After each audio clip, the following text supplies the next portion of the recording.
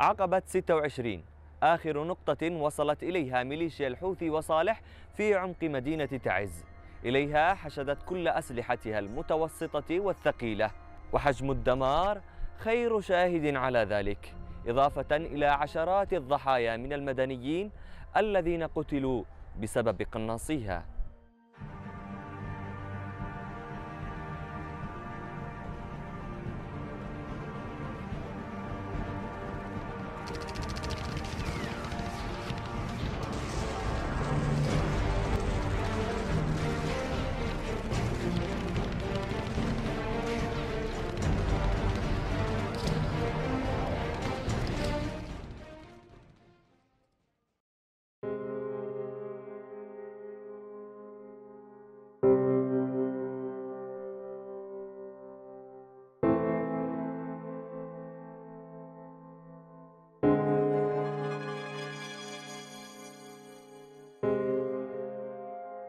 من قلب المدينة حيث أكبر تجمع تجاري المعروف بشارع 26 غربا وحتى حي النقطة الرابعة شرقا.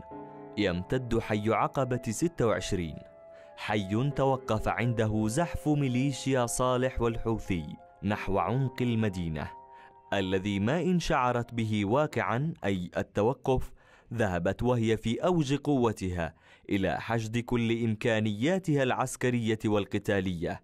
نشرت الدبابات ونصبت المدافع قطعت الطرق وبنت المتارس وفصلت وسط المدينة عن شرقها بشكل كلي. وصلوا على طول انتشروا بالعقبة 26 عند سنقريم مركزوا هناك عند البريد عند المالية ها؟ عند اسمه بيت هايل وصلت حق العقبة 26 من بيت الهندي دي. مركزوا هناك. المجمع الحكومي البريد المالية الضرائب لهذه المنطقة.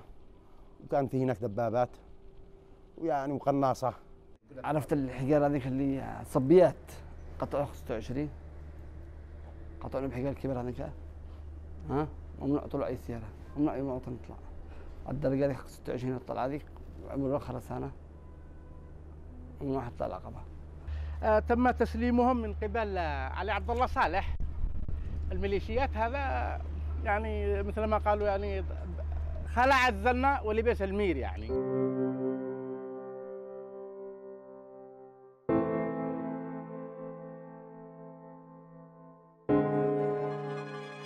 تكمن الأهمية الاستراتيجية لحي عقبة 26 بكونه يمتاز بموقع يطل على المساحة الواسعة في المدينة إضافة إلى توافر البنايات والعمارات الكبيرة والأهم من ذلك تعدد المباني والمنشآت الخدمية في محيطه كمبنى المالية والضرائب والبريد ومقر حزب المؤتمر الشعبي العام.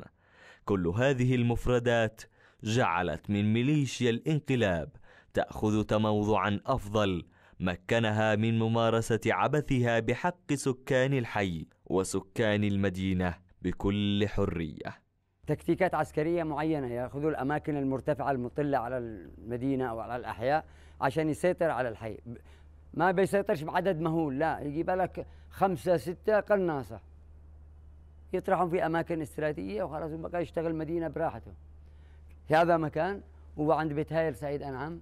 العمارة حق بيت هايل والعمارة برضو الذي فوق البيض هذه ما أعرفش حق مني كذلك عملوا مقر لهم. وفي النقطة الرابع بناية فارغة حق بيت هايل سعيد عملوا منها مقر. كانوا يتخذوا الأماكن الاستراتيجية الذي باستطاعته يسيطر على المنطقة من مكان واحد. أكثر الناس ما يطلعوش العقبة دي نهائيا بشكل عام. يطلع في حراك فحر لما طلعت ومعك هنا وليش نزلت هنا؟ وإذا رحت. إذا رحت ترى من سوق الصمير ليش رحت سوق الصمير رحت تدي خبر رحت تدي ترصد خبر رحت تعمل كذا رحت تعمل كذا وكذا بطلنا نطلع العقبة نهائيا. عقبة 26 هذه والنقطة الرابعة بطلنا اللي نطلع. طالع بروح العمل حقي وين رايح؟ حق قلت له رايح عملي. قال إيش جابك من هنا؟ قلت له عملي هنا بالبريد. عملي بالبريد هنا. قال لي ممنوع تمشي من هنا. قلت له ليش ممنوع؟ أنا موظف هنا بالبريد. تعسفات هذا ورجعني ورجعني. يرون أنفسهم بأنهم أسياد ونحن عبيد.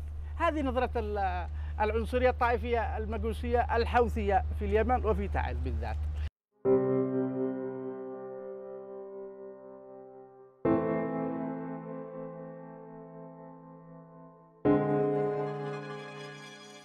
شواهد الأحداث وتبعات المرور. هنا في هذا الحي تشير إلى أن نهج حرب الميليشيا بداية الاجتياح كان مفرطا وأغلب مشاهد الدمار هذه في المنازل والمباني والمحال التجارية ناتج لاستخدام أسلحة ومعدات ثقيلة كالدبابات والمدافع والهوزرات وهذا ما تأكد لنا بالفعل من خلال روايات من عاشوا تفاصيل ذلك المرور اولا بأول.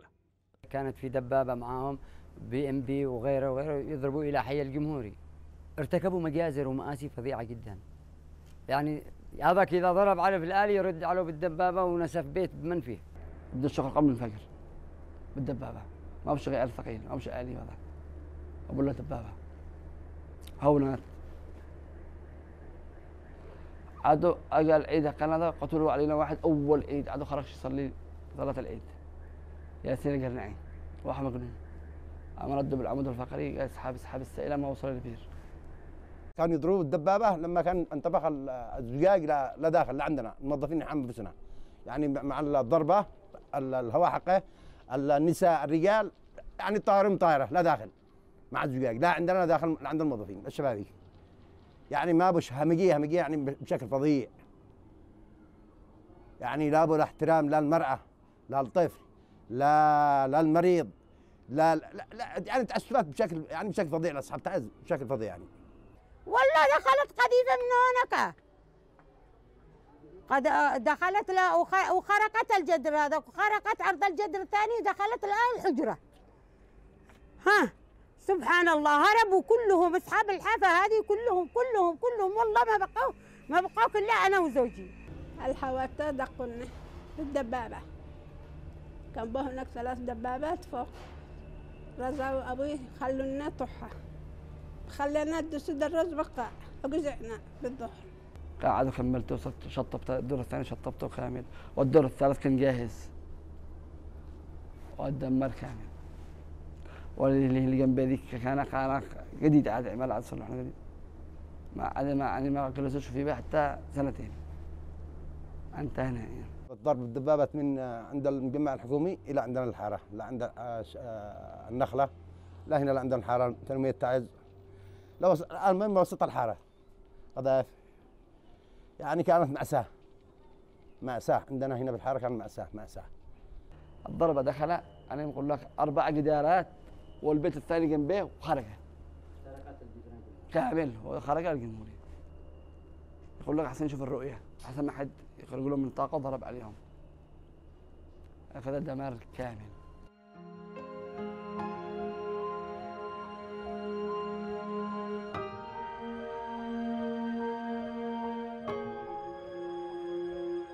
وسيلة حرب أخرى مارستها ميليشيا الانقلاب في هذا الحي وهي أشد نكاية من حربها التدميرية.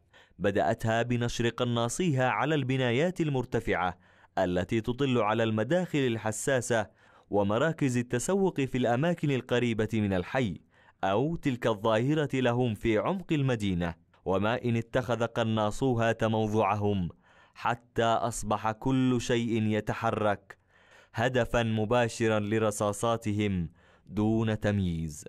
أكان صغيرا أو كبيرا رجلا أو امرأة. أنا أقول لك اجزع هنا بالشارع والقنصلة هنا لبين رجلي قسما بالله. سبحانه الحافظ الحفيظ. مقوى فيش أجلي. ها؟ من هنا من العمارة هذه. والقنصلة بين رجلي في قناص في بناية آل سعيد. يطل عند الباب الكبير. محيني مرتفعة جدا. كان يضرب عند أبو المحلاوة هذيك.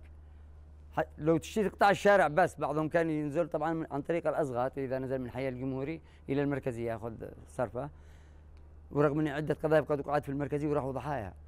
فكان ينزلوا عن طريق الازغاط ما يمشي الشوارع الرئيسية. في معه شارع 26 مجرد ما يقطع. مجرد ما يقطع القناة شابه يسرع وتشوفه لما يشتي يقطع الشارع يجري كأنه في سباق الماراثون. علشان يقطع الخمسة المتر هذيك حق الشارع. لا مقابل الزغط يدخل هناك. ويحاول بيدخل بك بكل الوسائل بعضهم يقتل بعضهم يصاب يتعور. علشان ينزل له بيشتري طماط وبطاط لاولاده عبد القوي من هنا خرج من العمارة كان هنا ببيتهم طرحوه هربوه. و- ونقهوا له هناك ضربوه. له هناك لعند السيارات شا ضربوه.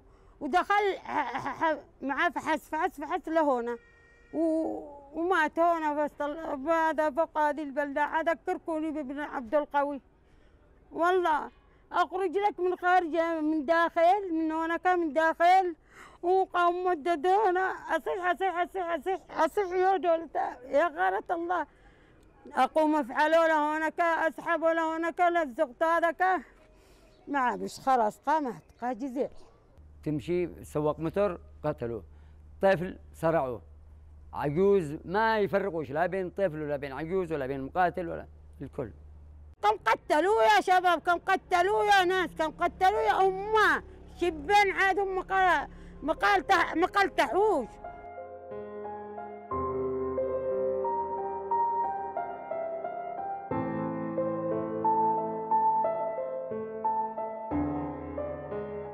لم تكتف ميليشيا صالح والحوثي. بقصف المنازل والأحياء وقنص أجساد الأبرياء بل ذهبت إلى مفاقمة الوضع المعيشي للسكان الذين أجبرتهم الظروف على البقاء حين طبقت سياسة حصارها الخانق على هذا الحي. حاله حال كل المدينة لكنه كان هنا أكثر إيلاما. هكذا يصفه سكان هذا الحي الذين اكتووا بناره وعاشوا الجوع والوجع في آن معا. مرة من الأيام يوم جمعة آه عائلتي طبعا مصابة بمرض خبيث أجي ينزل أسعفها كان القنص من آه، من نص العمارة هذه عمارة آه، أنا نسيت اسمها المهم عمارة هنا كبيرة. يعني القنص ما أقدرش أنا أخرج لهم مرة حقي نقطع الشارع. يخرج الليل كنا تعسرق من السائلة من البيت بيت. أوقات أوقات حفرنا من حفرة كنا ندخل منه وخرجنا منه من البيوت. نسمع قذيفة أنا أنا وقع القذيفة قال ما مش اتصالات ولا تلفون ولا شيء. التغطية كان مهلش خالص. وقع قذيفة وتعور واحد. أنا تعور أنا ص- قال من نطلعش الطلعة هذه حق السائلة ولا 26 دور من الطلع الجمهوري يعني شيء مؤلم جدا الذي كان بيحصل. تلقى بعضهم تمشي من جنب بيت كلهم يبكوا. إيش؟ جايعين. ما فيش معاهم اللقمه داخل البيت. كذلك الماء. وتخرج تأخذ الماء من جنب الوايت وأنت خايف. ليش؟ لأنه عدة قضايا فجاه تلاقي تقريبا معاهم من يعطيهم أحداثيات أو الله أعلم يضرب له عند محل ال- ال- التوانك هذه التي تعطي الناس الماء. آه على سبيل المثال في اثنين فقدوا أو ماتوا واحد اسمه بنت بنت عبد الله الحبشي أو البريهي. كانت تأخذ ماء لأهلها من نفس الم- الموقع. فقدت هذيك الساعة. و- وابن وسيم محمد علي خالد المخلافي كذلك هذيك الساعة قتل. وسواق الوايت الذي جاب الماء إغاثة للناس بترت رجله. كذلك أنا كنت متواجد عن بعد عندما جيت جريت اشتي اسعف اصبت في هذا المكان. لا زالت شوف الشظايا لا زالت موجودة لحد الآن. و- ونساء تعورين. هو كانوا يستهدفوا الأماكن المحل ال- ال- الإغاثات المساعدة الإنسانية تقريبا بإحداثية أو الله أعلم كيف يحددوا أو رصدهم كيف إنه يعرفوا إن هذيك الساعة الناس متجمعين في ضرب. باعتقادي حتى اليهود الاسرائيليين يعم- يتعاملون بالشكل هذا. يعني حقد دفين أسود آه، محرومين من كل شيء يعني. يعني الموت الموت يرون الموت صبحا وليلا يعني هكذا ما نراه في وجود الميليشيا. هذا اللي نراه.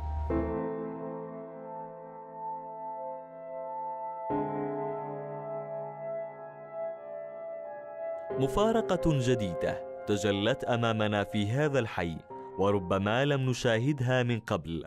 تمثلت بإقدام الميليشيا على إجبار سكان الحي البقاء في منازلهم رغم الخوف والرعب الممارس عليهم. وكان هذا السلوك لهدفين الأول اتخاذهم دروعا بشرية تقيهم من قصف طيران التحالف والآخر ابتزاز من يريد المغادرة منهم. أجبر الكثير على الدفع والنفاذ بأرواحهم ومن تبقى منهم لم يسلم من عبث الميليشيا التي روعتهم وأطفالهم ولاحقتهم إلى غرف نومهم. الحوثيين كانوا ما يشوش حد ينزح من جنبهم علشان يعتبروهم دروع بشرية لهم. مخليه جنب ما يفرحش إنك تمشي.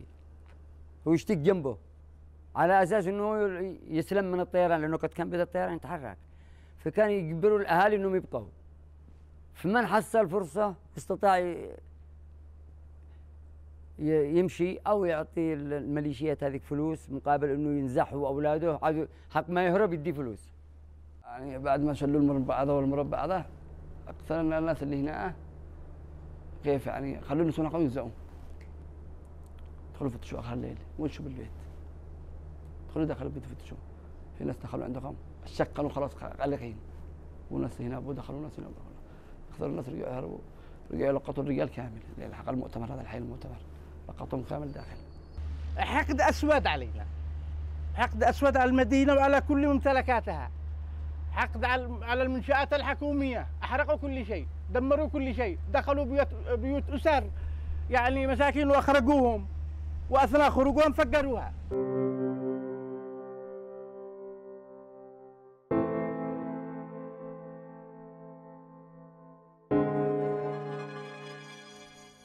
وجهة أخرى ذهبت إليها ميليشيا الانقلاب في هذا الحي.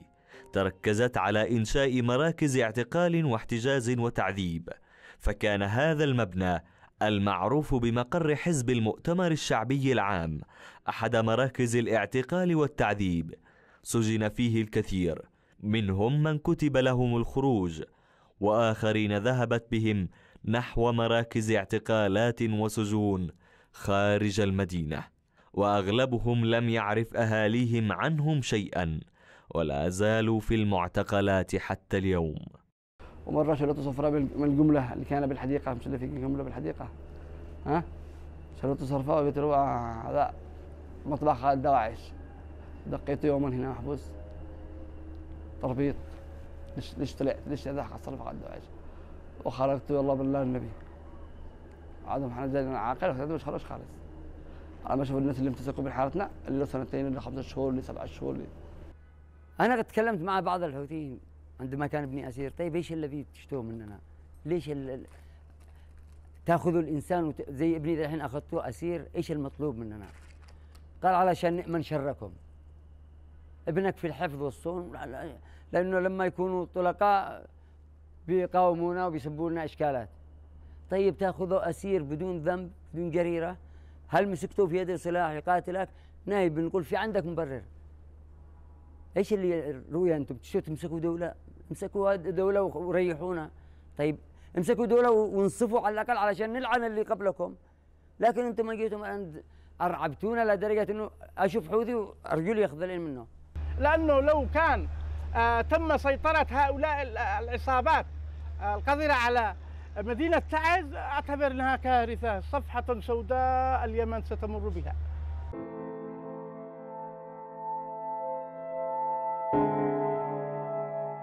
في منتصف عام 2016 شهد حي عقبة 26 تحولا حقيقيا. بعد معركة خاطفة تراجعت على إثرها الميليشيا إلى معقلها الرئيس في حي الجحملية. وأطراف المدينة الشرقية. هنا أدركت الميليشيا. مدى الانكسار الذي لحق بها في الجبهة الأمامية وسعت إلى توسيع دائرة حربها الانتقامية. فكانت القذائف والصواريخ تنهال على الحي بشكل مستمر. حدث اتسعت على إثره معاناة الناس وغدا شبح الموت الحقيقي يلاحقهم في كل مكان. وبقصص مؤلمة جدا. تحررت المنطقة من النقطة الرابعة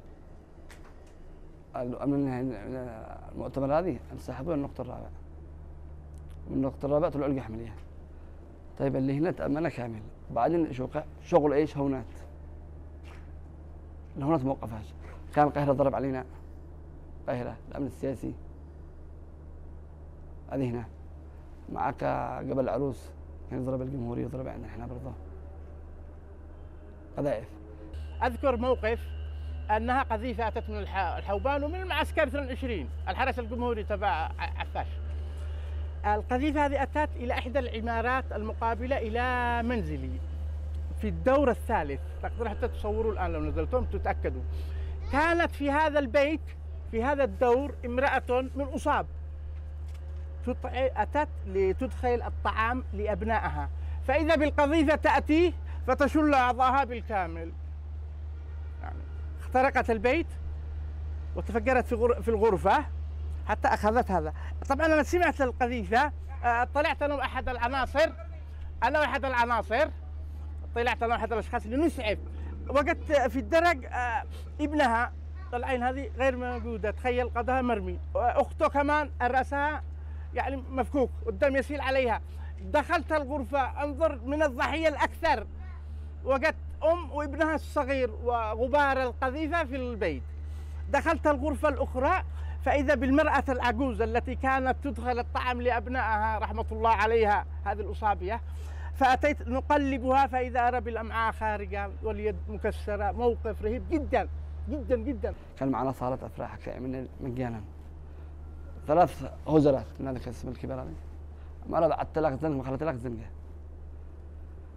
يعني بعد ما تحرر القاهرة والأمن السياسي وهذا الدنيا تمام الآن الحمد لله. تشوف الناس كيف الدنيا؟ ما بش قانس ما بش أي واحد شوف مات فلان ما بش حاجة يقول لك فلان طلع فلان زي فلان له مات فلان مات جزع فلان طلع نزل آه، فلان كسر رجله فلان تقطع رجله فلان بساق فلان. لك كذا هدل على البساق على القاتل على. ما بشك يقول لك يعني حاجة مليح ويعني فلان معاه ابن قال قالوا جاهل ولا موت موت موت موت. ليسوا يمنيين هؤلاء. الحمد ليسوا يمنيين. أصول فارسية أعتقد. اليمنيين لا يعملوا بالشكل هذا أخوانهم بالشكل. ولو اختلفوا لكن لن يصلوا لهذه الممارسة القذرة بين أبناء الشعب.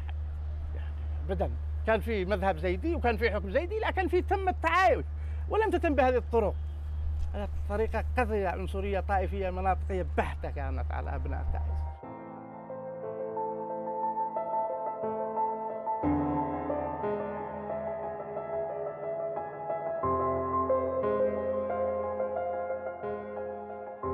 أوجاع مدينة تعز جراء حرب الميليشيا الانقلابية. لا تنتهي. ففي كل شبر مرت من خلاله الميليشيا سواء في عمق المدينة أو في أطرافها إلا وتركت فيه قصة دمار وحكاية ألم. ستظل تروى للأجيال بأن آلة الحرب الميليشياوية مرت من هنا.